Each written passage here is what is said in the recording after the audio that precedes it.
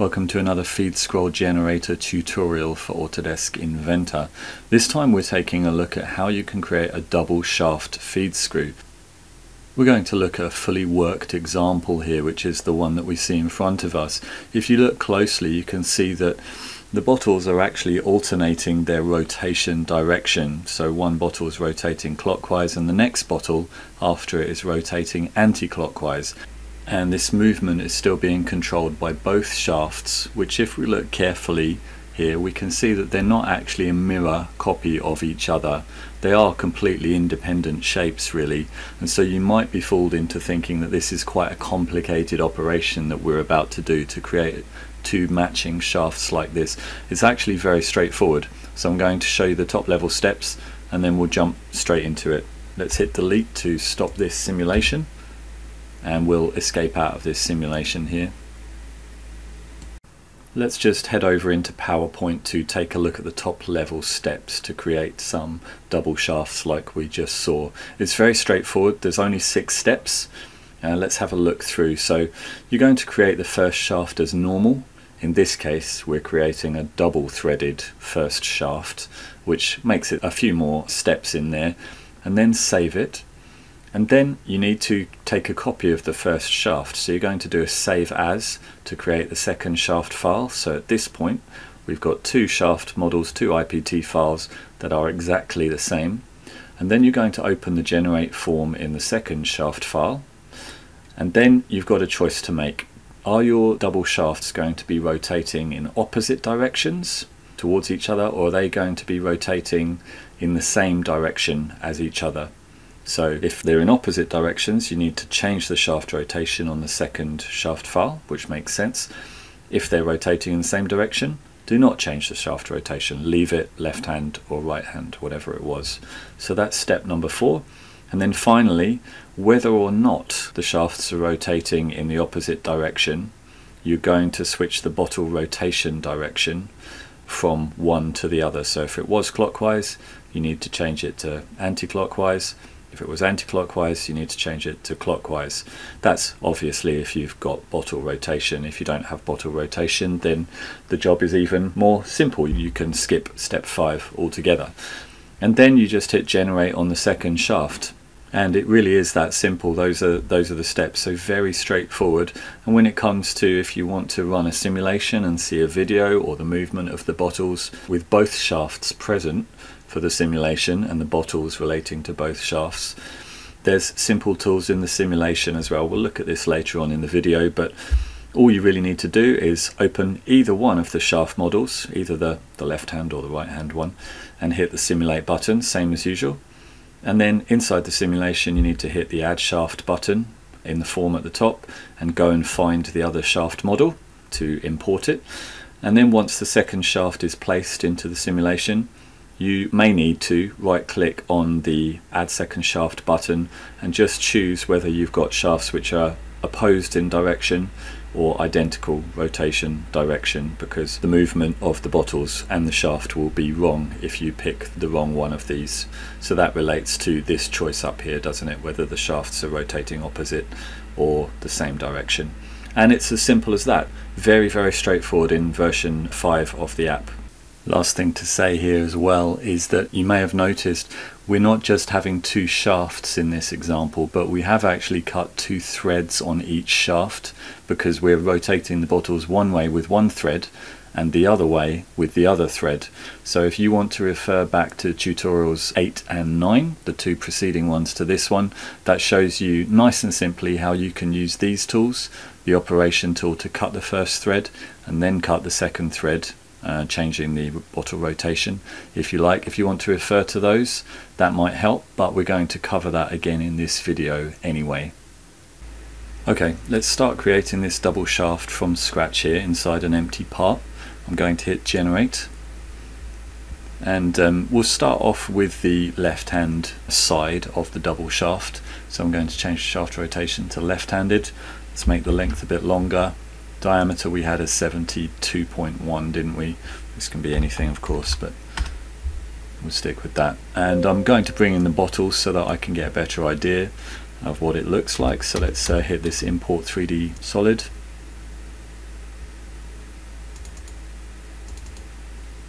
Let's choose an inventor part file and I'll bring this in here.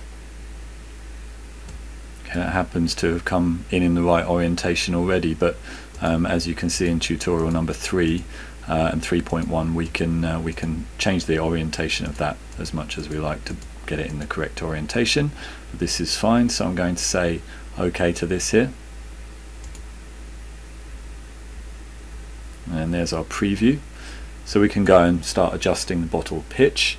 So we're making this a slightly more interesting example by actually, uh, as I mentioned, creating a double thread on each shaft, on the left hand and right hand shaft. And referring back to um, tutorial number 8, that means that we need to actually put double the pitch for each thread because of course we're going to have alternating threads uh, or the bottles are going to take alternating threads rather so we're going to need this to be much larger this thread here twice as large as it would need to be if the bottles were packed closely together. So uh, this value, because I've measured the bottle, that's going to be 111 to give a gap for another bottle here. And then the end pitch can really be whatever we like. Let's make that the 130 that we had in our example. So the pitch is slightly more at the end, but not hugely more at the end. And then the lead in and lead out for that, we would typically make that at least one revolution. But I think in this example, we'll just use these numbers that are close and then how far do we want to bury the bottle into the shaft here. I'm going to actually put the bottle right on the outer diameter of the shaft here, the center of the bottle that is rather, and so the bottle will be completely buried in both shafts.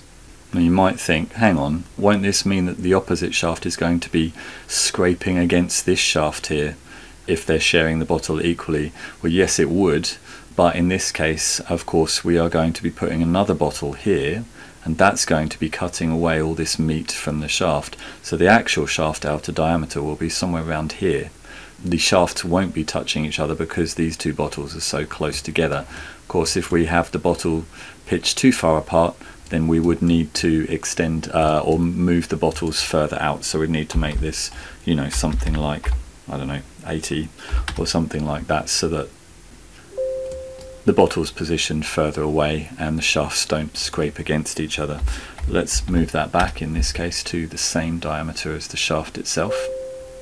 And now we do want bottle rotation just to make this example more interesting. Remember we're having alternate bottles rotating clockwise and then anti-clockwise.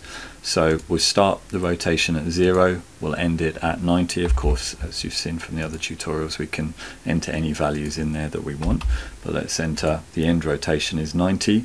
And then the lead in and lead out for those, this is how far before the bottle starts rotating. So I'll make it travel 180 millimeters before it starts rotating. And then how far at the end after it stops rotating. Let's just say it's not going to stop rotating too far from the end there. Remember from the uh, tutorial number four, we don't want to squash the rotation of the bottle into too small a space, otherwise it rotates too fast, and then we could introduce self-intersecting construction geometry when we're trying to create the lofts for the shaft. So we want to give the bottle plenty of time to rotate. You can always make the shaft longer, assuming your physical space allows for that. Right, down to bottle oversize. I didn't actually show any bottle oversize on the finished example I showed you a second ago, but in the real world, we would almost certainly want to add some clearance to the bottle to allow it to wiggle its way into between the shaft there. So why don't we do that in this example? I'm going to add a, a slight clearance of let's say maybe um, 5 millimeters at the start. Um, this kind of clearance at the start here and I'll quickly reduce that down to a 1 millimeter clearance or maybe let's say a 2 millimeter clearance here. So maybe 5 maybe 6 millimeters down to 2 millimeters something like that. You can check out tutorial number 7 for a full guide on this uh, this bottle oversize. Of course we can't use the stretch bottle oversize see tutorial number 7 because the bottles are rotating. So I want the oversize to move to 2 millimeters reasonably quickly at the start of the shaft. So shaft length is 600 so let's say by the time we're 100 150 millimeters along the shaft I want the clearance to only be 2 millimeters so let's say that we want that to be 450 millimeters So we want 450 millimeters of a 2 mil oversize. So here's the 5 mil oversize. Here you can see this 5 mil oversize, and it moves down to 2 mil oversize down here once the bottles have sort of are established in the shaft there.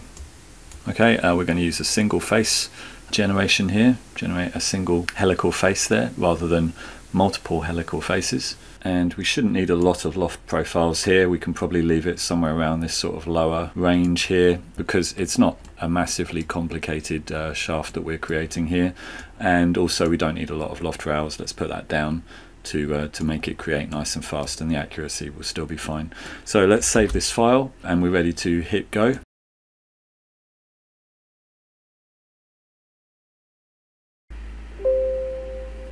Okay, so we've got our first thread cut on this left-handed part, on this left-handed shaft in uh, three minutes, just over three minutes.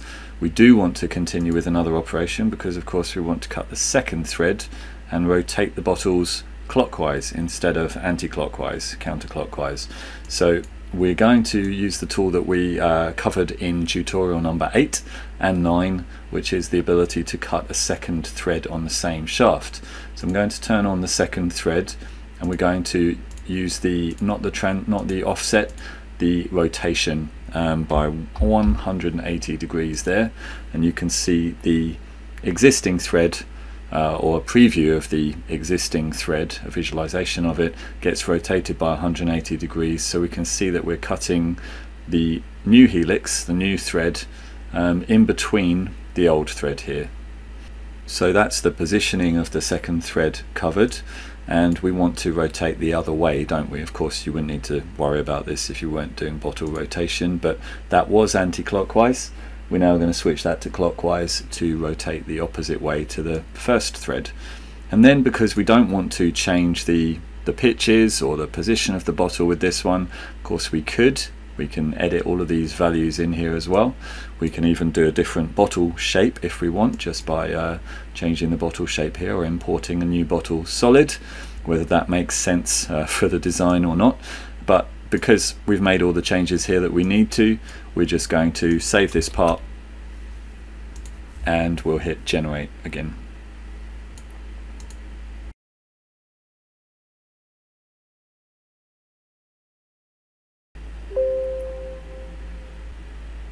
Okay, that's the second thread cut in, again just over three minutes. So I'll say uh, no, I don't want to continue with another operation here. Let's save this part so it looks like you know we don't have a lot of engagement with the bottle here. Uh, this is just because of the design that we've produced. We're starting out with the oversize of five millimeters aren't we? And going to an oversize was it of two millimeters at the end?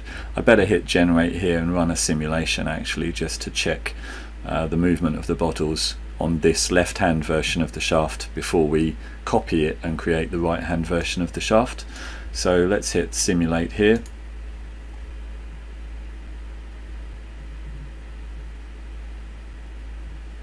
okay and let's just drag the slider around just to double check the movement. So that is doing what we told it to do isn't it? It's uh, rotating one clockwise and one anti-clockwise alternately for the bottles isn't it? Okay so uh, I'm going to hit escape out of there. And uh, that's the left hand shaft complete. I'm going to save this file with a more sensible name call it left hand with oversize. Replace that existing one. And we'll cancel out of the form here and we'll do a save as on this to our right hand shaft. So I'm going to do file save as. Let's call it right hand with oversize. And hit save. And then we can just go hit generate again. And as we saw in the PowerPoint at the start of this tutorial we just have really two values to change to start building this right hand version. So it's right hand here instead of left hand.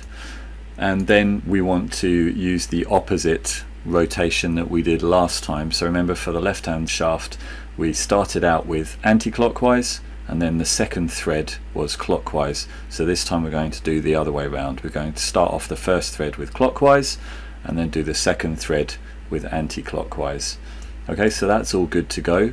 And we can leave all the other settings exactly the same all the accuracy and all that kind of thing and we'll just hit generate.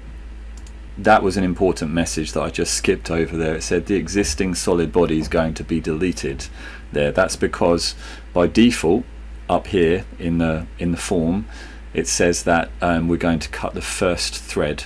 So unless we tell it we want to cut a second thread or a new thread with each operation by default it will delete any existing finished solid bodies or finished shafts and cut a completely fresh new thread which is what it's going to do in this case which is exactly what we want it to do don't we? Because we want to delete off the, th the two threads that we cut for the left hand shaft that we just created because now we're creating the right hand threads. Okay so this is all good. I'm going to speed the video up here as usual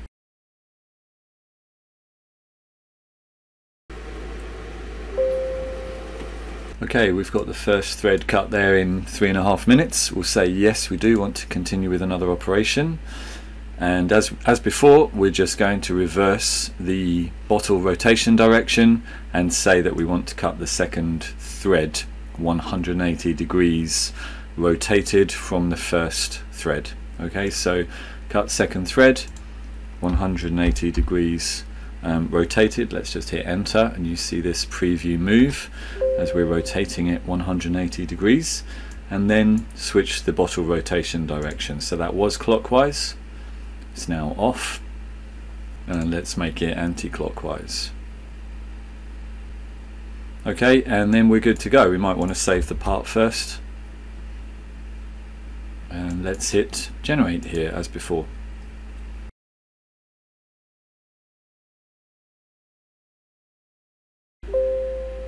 Okay, there's the second thread completed in just under four minutes. I'll say uh, that I do want to continue with another operation because I want to save this part and then I want to simulate this part and add the left hand shaft to the simulation.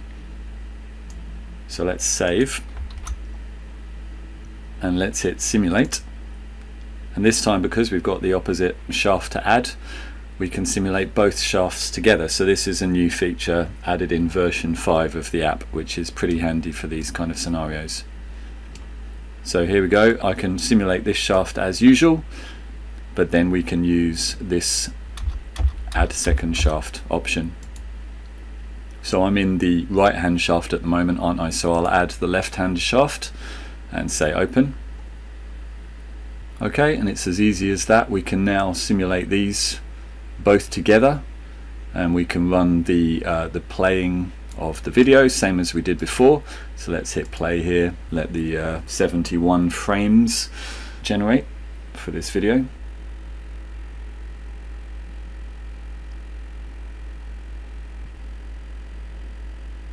Okay let's hit delete to stop the video from playing Okay, as mentioned in the note a little earlier in the video, we do have the option of creating double shafts where the movement of, or the rotation of the shafts is not opposed, is not opposite to each other, but they actually rotate in the same direction.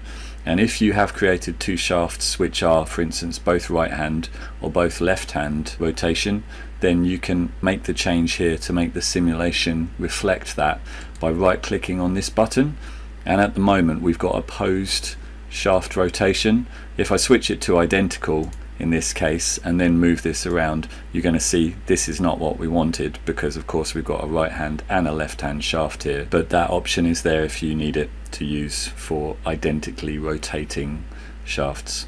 Okay so let's switch this back to make it opposed and there we go we've got the movement correctly set up now we can also see the um, clearance at the start here. Actually these bottles are quite difficult to see aren't they but if I set the colour of these bottles to be maybe slightly different so that we can see them a bit more clearly that's not very helpful. Let's try a different colour. There we are. Then you can see the oversize starts from 5 mil and we put it down to 2 mil didn't we or 1 mil by a certain distance along the shaft so you can see that oversize has also been uh, respected here. So we've got quite a lot of features into uh, a pair of shafts here. Hope you find this video very useful and thanks very much for watching.